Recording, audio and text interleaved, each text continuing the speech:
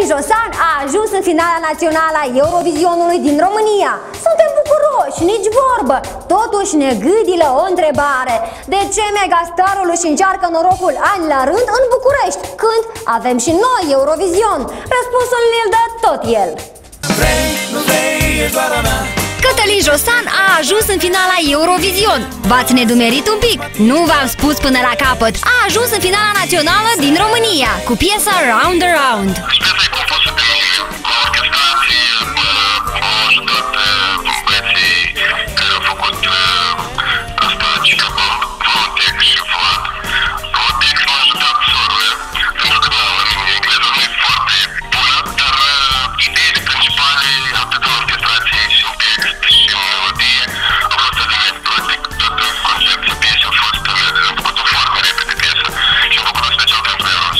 Câțiva ani încoace, Cătălin își tot încearcă norocul la Eurovizionul din România. Să nu fie cu supărare, dar la noi Eurovizionul tânjește după asemenea talente. Chiar nu-ți faci tu timp să le cânti moldovenilor la Eurovision?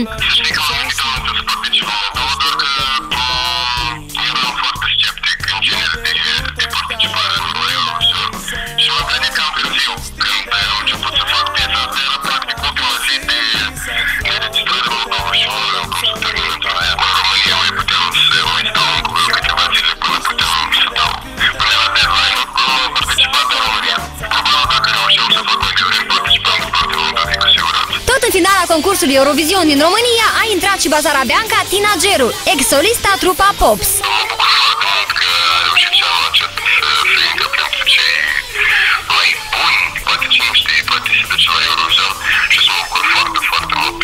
Păi nouă nu ne rămâne decât să vă ținem pumnii Totuși la anul vă așteptăm la Eurovizionul moldovenesc